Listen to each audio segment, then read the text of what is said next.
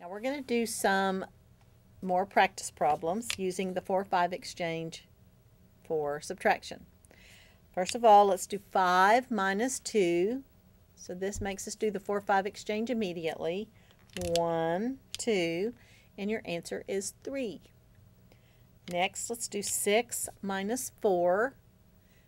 So we're going to do 1, 4, 5 exchange 2, 3, 4. Now let's do 58 minus 4. So we'll set your 58 and we're going to subtract 4. 1, 2, 3, 4, 5 exchange 4. And your answer is 54.